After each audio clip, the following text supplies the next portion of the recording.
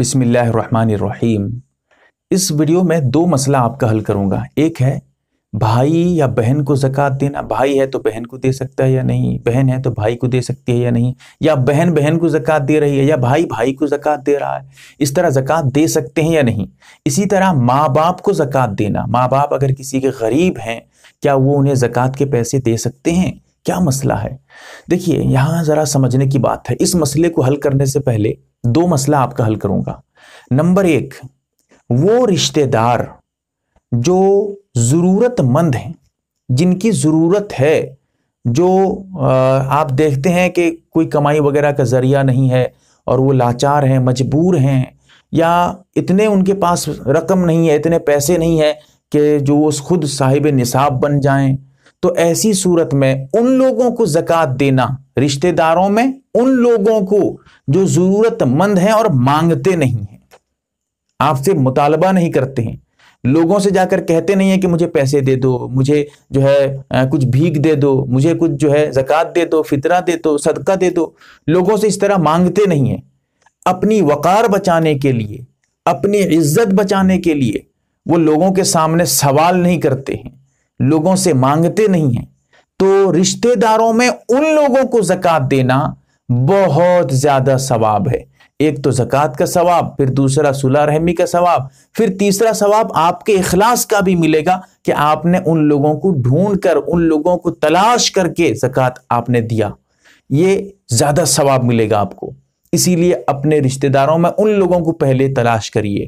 ان لوگوں کو جو ہے دیکھیے، لیکن افسوس ہے لوگ آج کل غیروں میں ادھر ادھر پیسے بانٹ دیتے ہیں زکوٰۃ کے۔ اپنے گھر کے لوگ، اپنے رشتہ دار ان کو دیکھتے نہیں ہیں۔ بڑے افسوس کی بات ہے، غلط ہے، ایسا نہیں ہونا چاہیے۔ اور دوسری بات، وہ ایک تو رشتہ داروں میں جو مانگتے نہیں ہیں، ایک وہ رہی ان کو ثواب۔ دوسرا ثواب، ایک طریقہ یہ ہے، رشتہ داروں میں زکوٰۃ ادا کریے۔ ہاں مانگتے ہوں نئے مانگتے ہوں نئے مانگتے ہوں تو زیادہ ثواب ملے گا انہیں دینے سے۔ اگر وہ مانگ رہے ہیں اور رشتہ دار بھی ہیں انہیں زکوٰۃ پہلے دیجیے انہیں دینے کی کوشش کریے۔ کیوں؟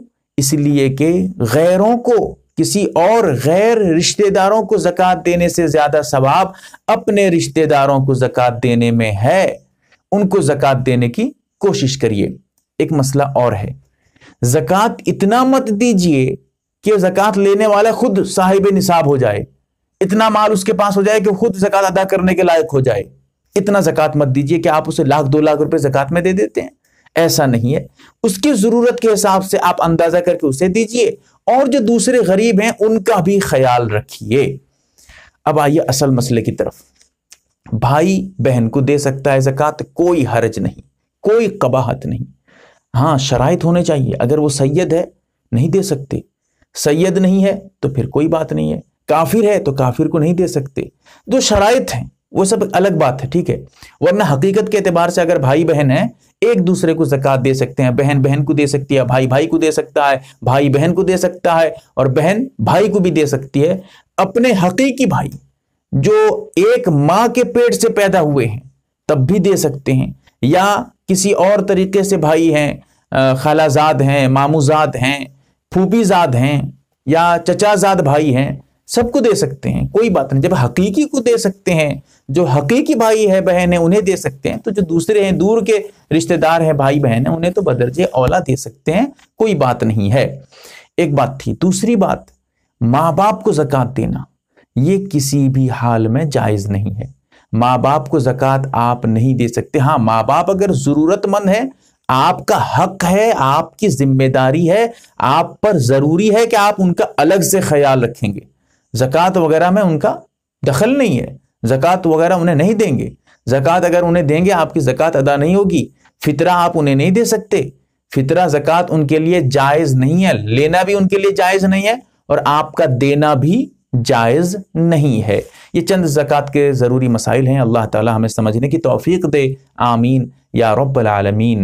آپ دیکھ رہے ہیں یم اے آر بی دینی معلومات یوٹیوب چینل۔ چینل کو سبسکرائب کریں، ویڈیو کو لائک اور شیئر کریں۔ فیس بک، ٹویٹر، انسٹاگرام اور ٹیلی گرام پر آپ ہمیں فالو کر سکتے ہیں۔ ہماری ویڈیوز آپ اپنے چینل پر ڈال سکتے ہیں۔ ہماری طرف سے اجازت ہے۔ ہمارے ساتھ واٹس اپ پر جڑنے کے لیے آپ اپنے واٹس اپ سے اپنا نام اور فل ایڈریس کے ساتھ ایڈ لکھ کر ہمارے WhatsApp number eight nine zero eight nine three nine three four three کو میسج کریں۔ اور ہمارا کام پسند آئے تو گوگل پے، فون پے یا بینک اکاؤنٹ کے ذریعہ مدد کر سکتے ہیں۔